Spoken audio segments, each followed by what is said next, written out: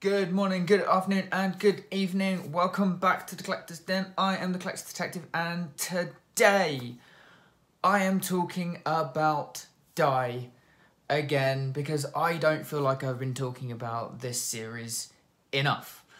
I was able to catch up on issues 8 and 9. And first things first, issue 8 I loved. I loved the artwork. I have done throughout the entire series. Stephanie Hans, this artwork she's doing is is just amazing. It's it's something that I'm not usually drawn to, but it's so incredibly out there and and kind of crazy and it just looks beautiful. It really really really does. And this issue especially has probably one of my favorite panels. I'm going to show you there. Just fantastic. And Clayton Cowles with the uh, colours, truly a fantastic job. This this series is without a doubt probably the greatest one out there at the moment. It is truly exceptional, and I there is there is no praise high enough. There is nothing I can say that is bad about this comic. Um, this issue, we get a little bit more detail from Matt, the Grief Knight. Um, it's interesting to see some of the things from his perspective, uh, like to do with his sword and uh, why he picked the, mm, why he picked the sword out of other things that have happened. It's really, really interesting, and it, it just shows that we are getting more and more character depth. They started out as pretty fleshed out characters that you could really relate to to begin with, and we're slowly, slowly getting even more depth for the characters of them within the the, the fantasy world of Die, and it's truly, truly amazing. And and while reading this, I I am wondering what's happening in the outside world. I think that would be the only thing that I would say is, is lacking slightly in this is that is that you you are definitely following the characters through their like Jumanji journey through through die through this fantasy world. But I would also kind of like to see what their their disappearance and what their impact of, of not being in the home world actually has with their families, with their loved ones, with their work, with that kind of thing because it's, it's happened before where they've gone away for was it 15 years then they came back. And obviously we got a little bit of backstory people were freaking out. They weren't too sure. They'd kind of given up and the, the children were dead. As adults i would have thought there'd be a little bit more of an effect. But that's saying this series is phenomenal. It really really is. And it's the kind of series that i, I, I sort of compared to game of thrones and that you can get a couple of issues very similar to 8 and 9 where it doesn't seem like much happens. There's very, very light on action. But yet you get so, so much information that you find out an incredible amount. And it's truly amazing. It's just, it's perfection in a comic. It really, really, really is.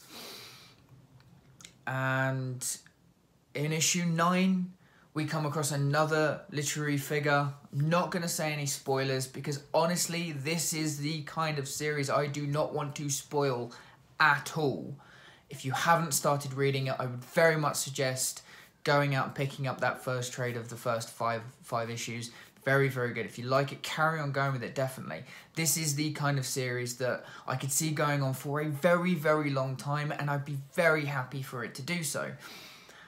Saying that, I do know Kieron Gillen has, has recently ended one of his last series, so I can imagine that he wouldn't take this to the point where it gets stale. He wouldn't carry on past the point where it's it's it's lost its integrity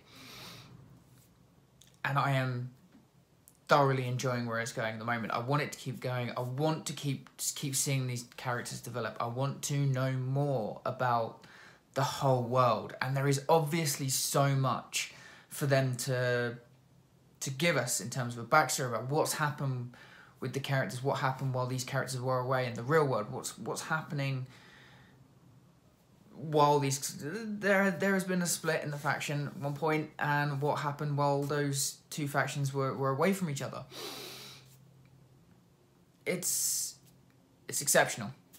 It really really is. I would say anyone who does want to start picking this up definitely pick up that first trade that's probably going to be the best way to read it pick up that first trade give it a go if you are wanting to then catch up hold off because I, as far as I'm aware, the second trade should be out relatively soon, uh, probably in the next couple of months. I do believe we have one more issue left in this arc, so that'll be the next trade coming out, and then uh, it's just a matter of, of seeing where we go from there.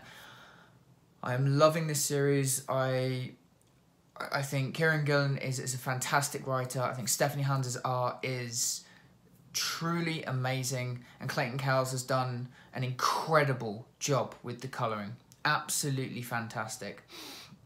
Uh, to the point where he's playing with both colours and black and whites. We have a we have an instance we have a moment in issue eight where one of the characters is, is talking about the past and the past that we get a couple of little panels it's actually in black and white. And it's really interesting to see when you when you compare it to the over essentially overexposed colors that we get of of, of, of the present day.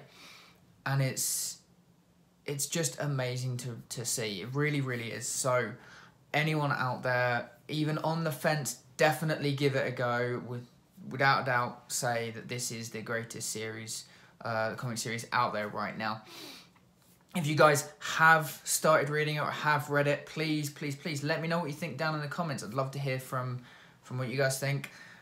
And I'll catch up with you in the next video.